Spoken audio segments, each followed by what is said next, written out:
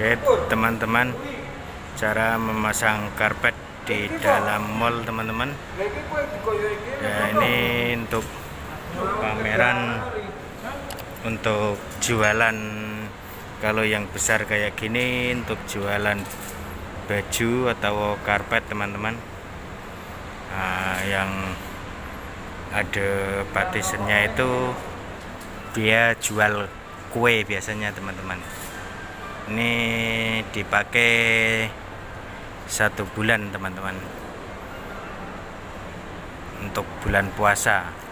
Jadi semua di kawasan mall dipasang karpet kayak gini teman-teman. Kalau bulan puasa memang ramai sini. Ini lagi untuk tambahan ini. Tadi kan tengah-tengah saja yang sekarang kiri kanan kena tambah.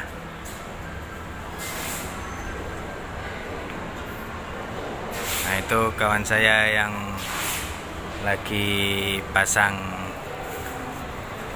tip biar nggak lepas kayak gini. Ini harus ada tipnya kayak gini teman-teman. Itu cara-caranya mengetip karpet biar nggak lepas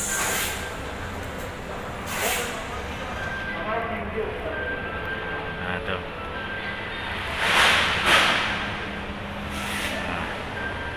itu kalau yang pandai cepat perat perat gitu. Hmm. tunggu karpetnya. Ini kurang segini teman-teman. Nah, ini boleh kurang pula ini karpetnya sudah malam. Dan tipnya. Lepas di tip harus kena pijak kayak gini teman-teman biar tipnya melekat teman-teman di tempat keramik. Kita tunggu karpetnya. Oke teman-teman alhamdulillah sudah rampung teman-teman. Nah tuh mengetipnya oke ini nggak boleh dilewati nih. Harus ada tanda garisnya biar nggak orang masuk. Biar nggak kotor teman-teman. Oke kita akhiri video ini. Wassalamualaikum warahmatullahi wabarakatuh. Jangan lupa like komen dan share teman-teman. Thank you. Beli beli. Serambung serambung beli. Nah wis tutup mulai. Mulai sarap tutup. Wis tutup deh wis ono kae iki deh